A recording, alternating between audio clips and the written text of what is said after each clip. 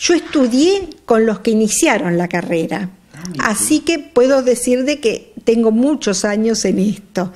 Eh, y em, hice eh, toda mi, formación en el Hospital Italiano de, en el Hospital Italiano de Buenos Aires mm. con la que inició la carrera, que fue el doctor Tato, un otorrino muy famoso, este, del cual hay libros, y una otra fonoaudióloga que también creó la carrera, que se dedicaba especialmente a voz. Por eso a mí una de las de, la parte de mi, este, de mi carrera que me gusta mucho es el trabajar con la voz.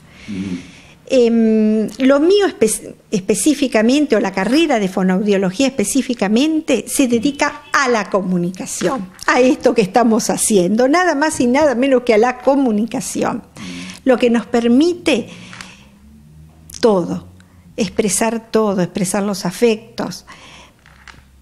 Bueno, es muy amplio.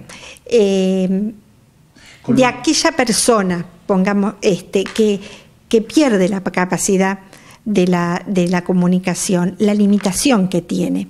Nosotros trabajamos desde el bebé recién nacido hasta, hasta el anciano desde el bebé recién nacido con la prevención. La prevención a través de las autoemisiones, este, viendo si puede escuchar, eh, si su vía auditiva está permeable como para recibir estímulos sonoros.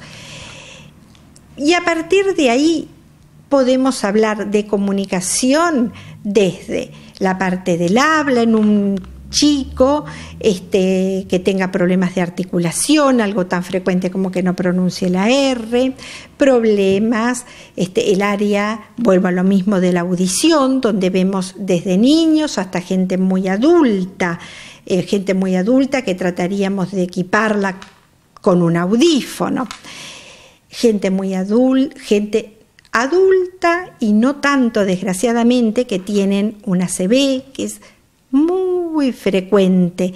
Dentro de mis 35 años podría decir que cuanto más ACB he visto es en este último tiempo y con gente muy joven. ¿Han crecido, usted que tiene tantos años en, la profesión, han crecido ah, o ha decrecido la cantidad de patologías con problemáticas para su área? Para el área del lenguaje. de la fonodiología en general, digo, hay personas que más, más inconvenientes tienen en el habla, en el, en el, oído, en, el, el, sistema auditivo, etcétera. Sí, en lo del sistema auditivo podría ser este, a través de que se escucha la música demasiado fuerte, em, los, todo, eh, mm, los chicos se los vive con esos este, em, auriculares, este, el MP3, el MP4, pero con, con em, volúmenes muy fuertes. Y, los, y va directo al oído porque los escuchan con auriculares. Este, eso es aún peor que, este, que el ruido del medio ambiente. Más agresivo. Es más agresivo porque va directo. Eh, se habla de, generación de chicos, no sé si sordos, pero con problemas de hipoacusia. Mm. Hipoacusia que es la disminución de la audición. Iría creciendo ese problema. Y eso sí. Eso y la ACV, diría yo. Los problemas de ACV... ¿Qué hincapié en eso que ha visto en los últimos tiempos? Porque me preocupa me preocupa eh, últimamente personas de cuarenta y pico de años que han perdido la capacidad de hablar y de expresarse.